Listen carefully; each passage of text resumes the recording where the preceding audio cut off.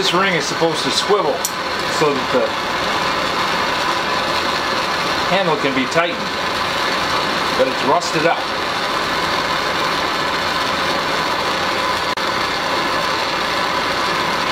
So by heating just the ring,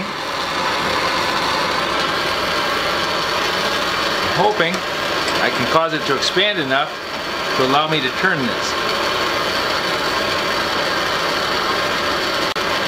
And there we go.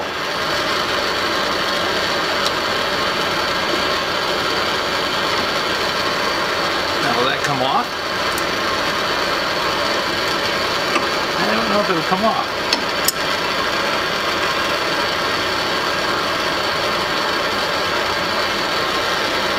No, looks like it just spins.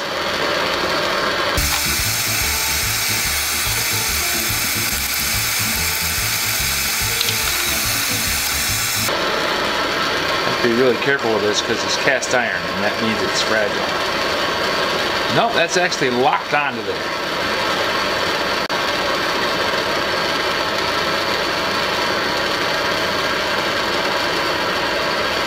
It's either an extraordinary bit of casting to get that ring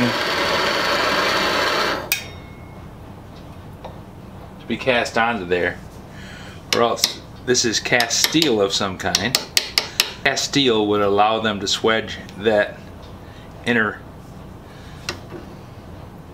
shaft out to lock the bushing or lock that ring on. Interesting. Because I thought it was a solid cast piece. Now I find that it swivels. And not only does it swivel, it swivels and it's locked together. Disassemble this, just take that off.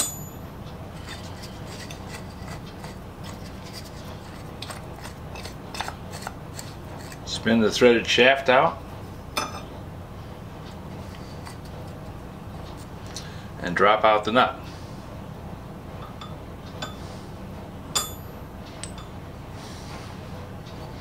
Now this handle I'm going to clean up and this is going to be my sample to make the other handle match it. Because this handle, which goes with this piece, which is too hot to pick up right now, this handle uh, was destroyed in trying to disassemble it. I don't see any evidence of powder post beetles on this one. The other one had just two small holes in it, but they were up here in the weak spot. So when I tried to twist the handle off, it just cracked in pieces. It's amazingly light wood. I don't know what it is, but it's very, very light. Using these tubes means that I get more depth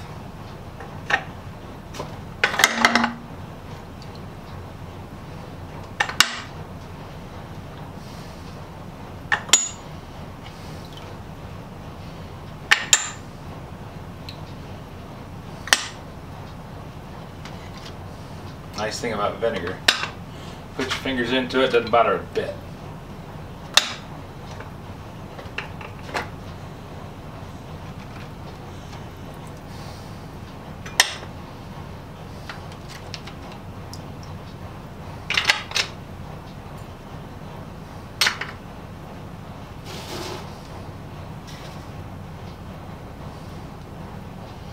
If I can do this without making a mess, That'll be a red letter day. Yeah. Not a big mess.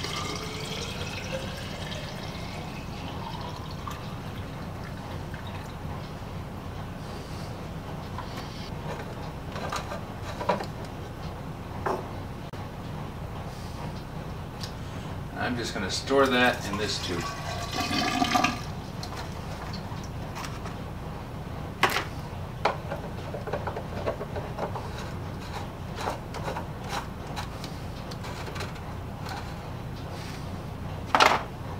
After removing the handles from the two-man crosscut saw, I realized that this one was in pretty bad shape.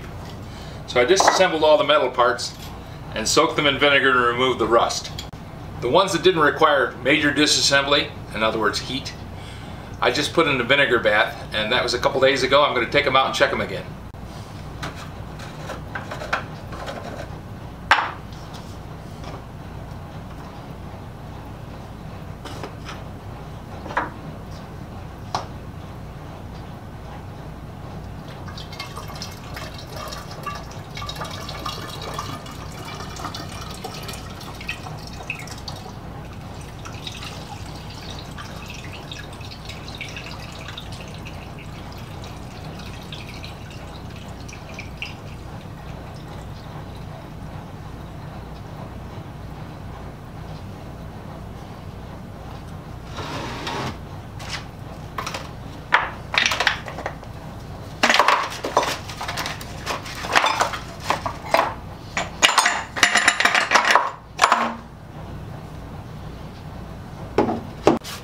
Vinegar leaves them with a dull gray matte finish. And if I want them to be shiny, I'm going to have to take them over and run them through the wire brush.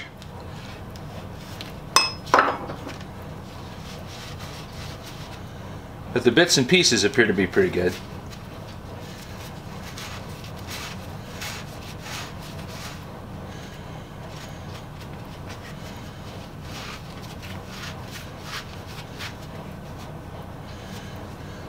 On this one, I can still see the black paint. That part was hidden inside the handle, so the black paint was sheltered from the rusty area, and uh, the black paint stayed on it. So I'm going to paint these gloss black again. But before I do that, I'm going to take them up and wash them off in the sink, run them through a baking soda bath, make sure I got all the vinegar killed.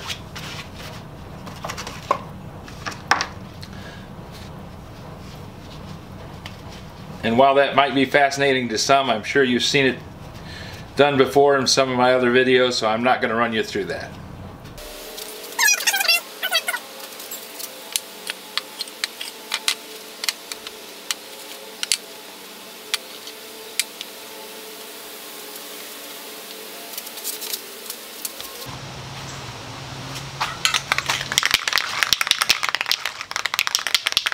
Got the rig all set up all we have to do is shake the paint can and squirt some paint on these things.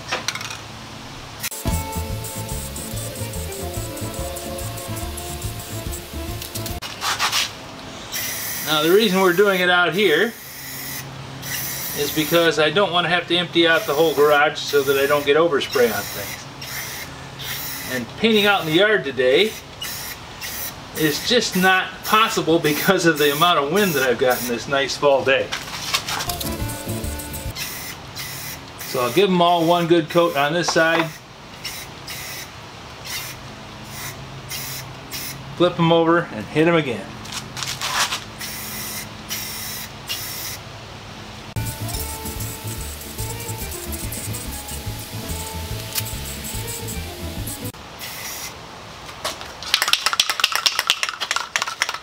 Just about out of paint.